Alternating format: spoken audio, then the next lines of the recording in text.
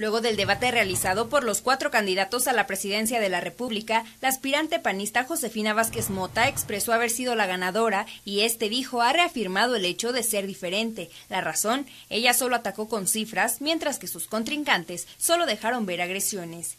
Mientras veía ese cruce, no puedo más que venir a ratificar frente a ustedes. Por eso soy diferente, porque soy Cabe señalar que a pesar de que la candidata hizo hincapié en que durante el debate hubo diversos ataques, estos también se dejaron entrever en este evento, ya que declaró que en el Estado de México, luego de ser gobernado por Enrique Peña Nieto, candidato del PRI, quedó lleno de corrupción y propuestas incumplidas. Y le recordé cómo dejó el Estado de México. No, no con adjetivos personales y tampoco con injurias. Lo hice con cifras reales que se traducen en el dolor de los mexiquenses.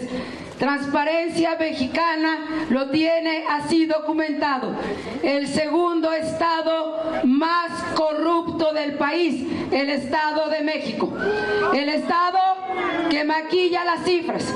Por su parte, el candidato por la gubernatura del estado, Miguel Márquez Márquez, opinó que al candidato del PRI le faltó tiempo para convencer a la sociedad y solo se pudo notar el miedo que tenía.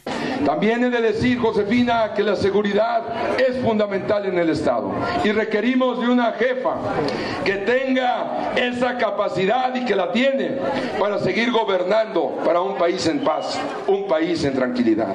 Construir la paz en este México, en este Guanajuato, lo haremos juntos juntos, Josefina.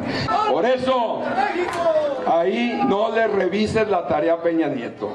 Déjalo que se quede ahí. Ya no tiene, ya no tiene remedio. Márquez Márquez dijo estar seguro de generar la pauta de 1.200.000 votos, contando con compromisos y proyectos que beneficien a los mexicanos. Con imágenes de Jefter Alcántara para Vía Noticias, Diana Rentería.